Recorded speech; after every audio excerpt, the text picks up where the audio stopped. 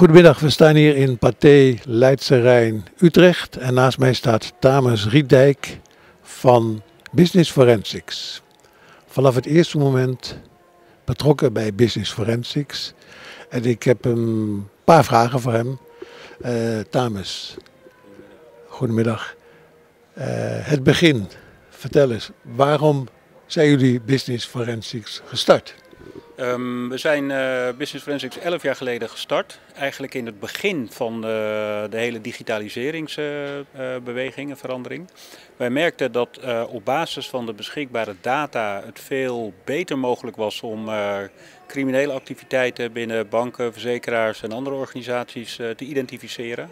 En hebben daar ons product op ontwikkeld. En nou ja, na de eerste succesvolle projecten en wat incidentele forensisch onderzoeken, is er zowel een verzekeraar als een bank uh, als eerste klant uh, gebruik gaan maken van dat systeem. En daar hebben we eigenlijk de rest van de klantenbasis rondomheen gebouwd. Oké, okay, we zijn nu zo'n jaar of 10, 11 verder. En ondertussen is het zo dat de Business Forensics is in handen van een Duitse partij. Ja. Cleversoft GmbH. Ja. Waarom een Duitse partij? En dan direct de volgende vraag. Uh, hoe nu verder? Want uh, zijn er zaken die jullie splitsen, verdelen? vertel eventjes.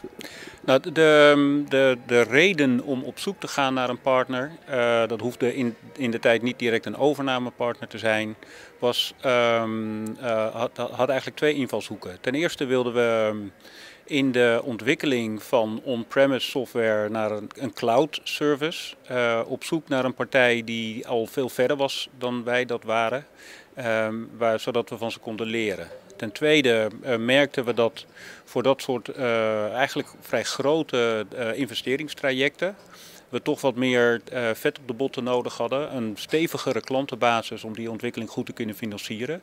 En dan ga je naar kijken in welk land kun je nou de meeste groei realiseren. Nou, dat bleek Duitsland te zijn. Het totaal aantal banken in Duitsland is uh, uh, veel en veel groter dan in Nederland. En heel anders gestructureerd, hè, met al die uh, landesvolksbanken en veel meer lokaal en ja.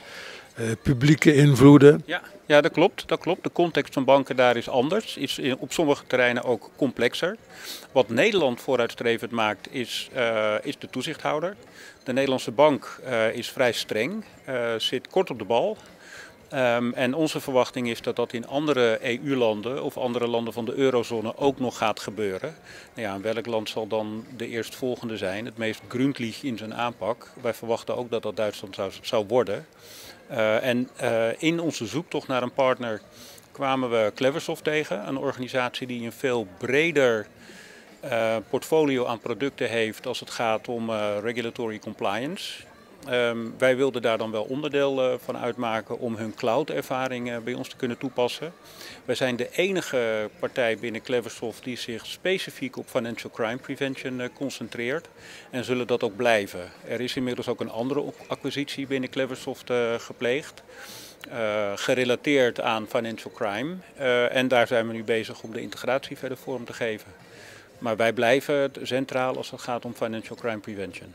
Het is zo dat uh, heel toevallig de Nederlandse bank ook hier vandaag gaat spreken in de rol of uh, smart supervisor. Met andere woorden, ze willen meekijken hè, bij de systemen in de banken. Zouden ze kunnen meekijken uh, in de systemen die jullie bij de financiële instellingen geïnstalleerd hebben? Nou, het kan natuurlijk altijd. Um, maar we doen het alleen als onze klant dat wil en daar ook expliciet toestemming voor geeft. Uh, wij, wij, bedienen klanten, wij bedienen geen toezichthouder. De individuele bank en de individuele verzekeraar heeft zijn of haar eigen discretionaire bevoegdheid om die beslissing te nemen. Dat zullen wij nooit uh, uit naam of voor hen doen. Dankjewel. Tot uh, zover. Hartelijk dank voor deze uitleg. Graag gedaan. Tot ziens.